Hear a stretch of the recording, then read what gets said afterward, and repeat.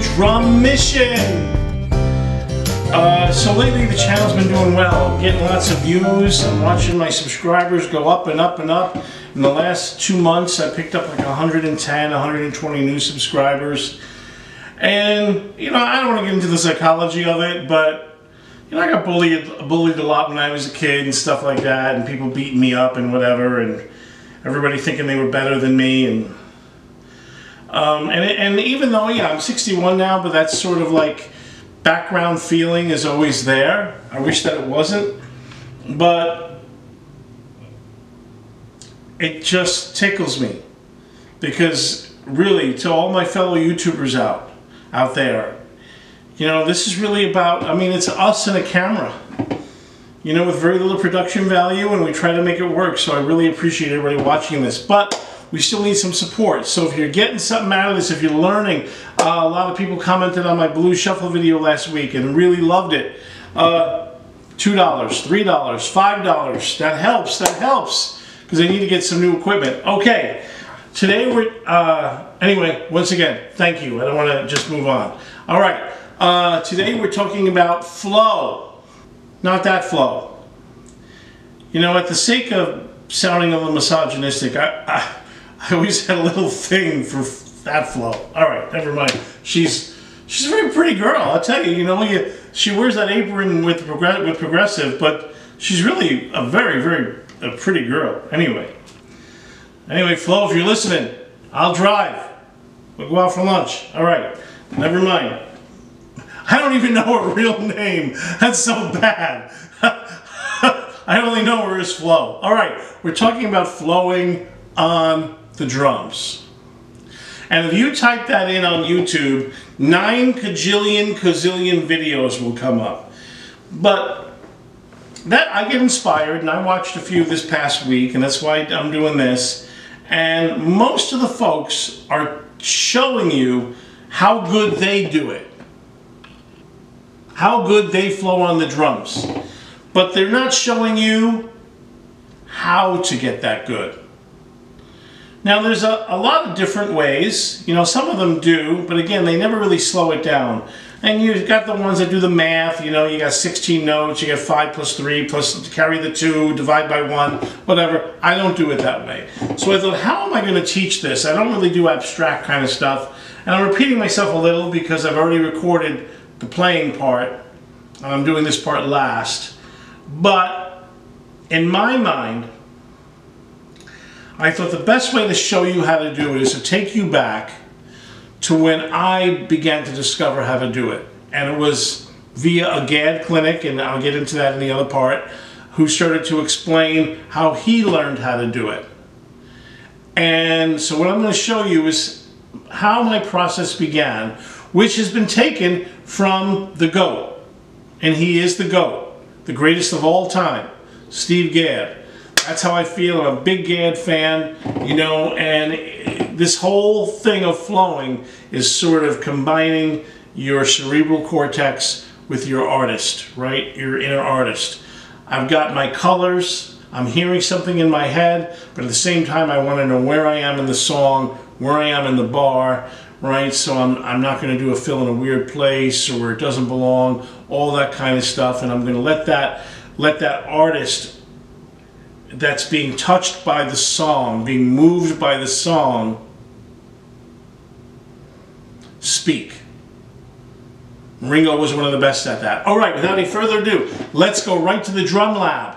And let me show you how I learned how to do this, I don't know, like 20, 25, 30 years ago. All right?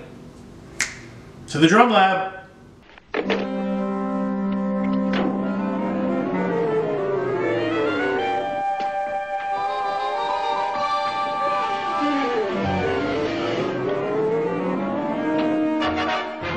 Hi guys, welcome to the Drum Lab, the Drum Mission Drum Lab. Okay, so today we're talking about flow. Learning to make it flow, right? So that your drumming can go from your head, you, you hear something while you're playing on the gig, and then you can execute. So you might say to yourself, well, does that mean I have to kind of like have everything, like practice constantly?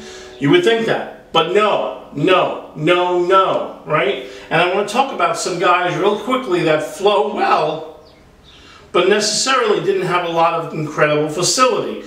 Let's start with Ringo. If you haven't heard the song Rain, listen to the song Rain. Ringo is flowing in that. He's playing very differently than he normally plays, and it's Ringo's favorite playing. He said it himself. But just the way it's flowing out of him, he's hearing stuff, he's crossing bar lines, and he's doing it. But at all times while Ringo was doing that, he knew where he was in the song and in the bar that he was playing in.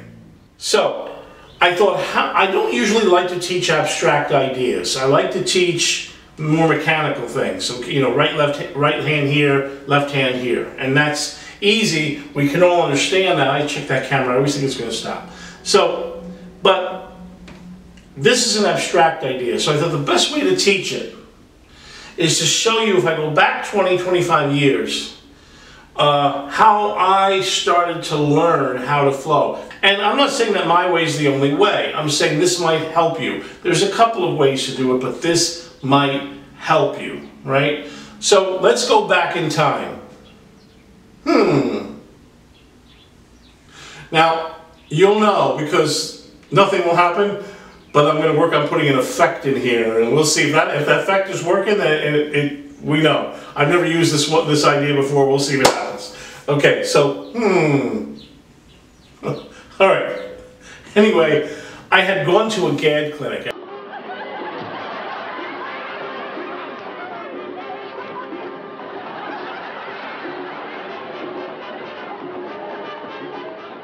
Going in Lansing, going back to like 25, 25 years or so. I was living in Kalamazoo. And I went to uh, this Gadd, this Steve Gadd clinic that was at uh, Michigan State University. He said these words, you can have a whole career if you have four or five ideas that you can do very differently. And if you go through the Gaddiments book, that's really what it's about. He has an idea, and then he displaces it, right? He starts it on one, then when it comes back around, he starts it on the E, and when it comes back around, he starts it on the and. So I remember I was so excited to go home, and I thought, okay, what idea should I take and try to orchestrate it in many different ways. And there was one idea that I always did well, and I thought I'd give it a shot this way, was the Bonham triplet idea, right? And that's when Bonham does those triplets, he does rack tom, floor tom, kick, and he does it uh, left, right, kick. Me, I'm left-handed. I'm set up lefty, so I'm going to go right, left, kick. But I didn't want to do it just on the tom-toms. I was already pretty good at that, and I didn't know what else I could do there. So I took Gadd's idea. I said, so here I'm going to show you now, step by step, what I did 20-something years ago to begin to learn how to flow. I said, let me take that right-left kick that I always do, and instead of doing it here on the tom-toms, I'm going to do it between my snare and my hi-hat.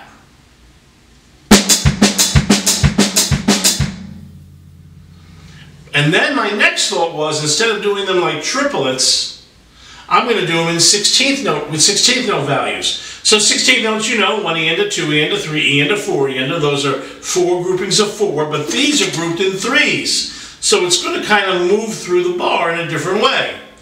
So one of my advantages, I think, was when I was a kid, my first teacher, when I was in, I was from the ages of 11 to 16, made me count everything out loud. And I think that helps me to know where I am in the bar because I train that little guy in my head.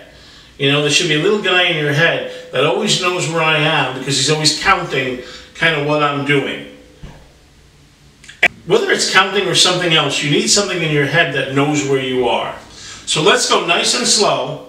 I'm going to play one bar of that and then go back to the groove. And that was the other thing my teacher stressed upon me. Whenever you're learning something, and this is good for flowing, from a groove to a groove. From a groove to a groove. Don't just play the thing. So let's start with a nice easy rock beat slow.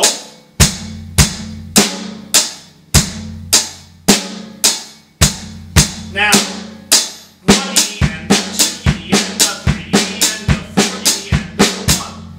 And I remember thinking to myself, well, that's kind of cool. I the way it goes through the bar.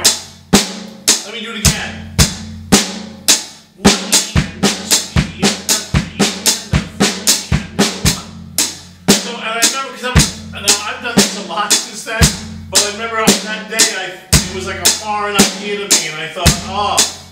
So what I began to do was take that artist in me that wanted to paint colors connected to my cerebral cortex and give myself a new set of colors but still know where I am in the bar. My brain was having a, a light up moment. Let me do that a little faster so you can see.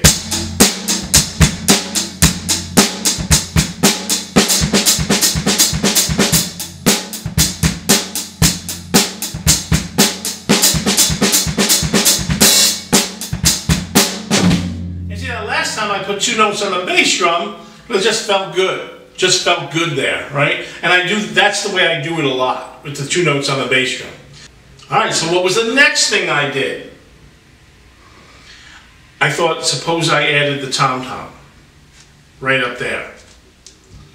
Because I was doing something similar to that and something else, and I thought, suppose I did this.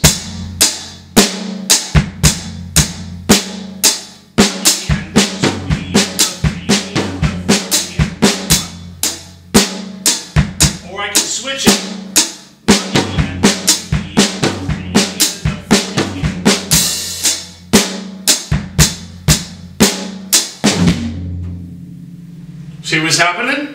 Now I added a new color. A new color. Let me do that one a little quicker and then we're, we're going to move on to as this starts to develop. Here we go. Let me do that one quicker for you.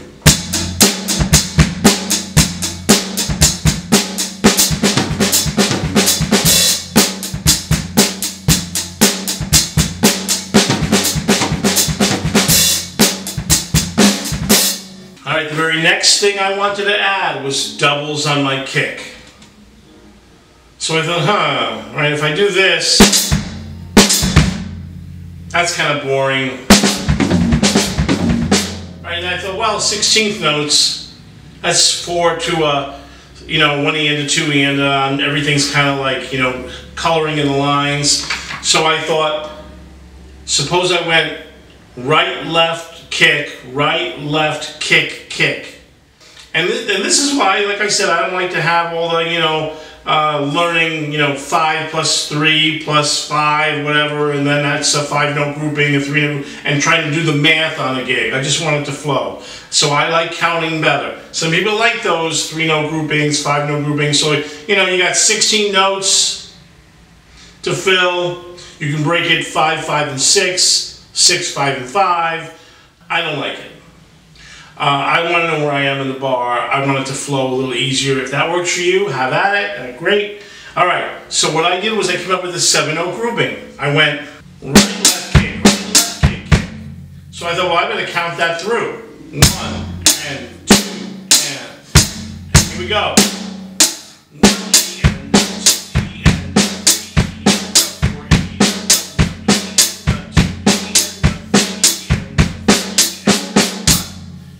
Paradiddle to end it that just kind of flowed out. I remember the day because it was sunny. I had a whole room. It was a two-bedroom apartment. I had a whole room set up for the drums. I remember when I did that for the first time. I've used that lick ever since. Let me put that a little quicker now and show you and show you. Okay, here we go.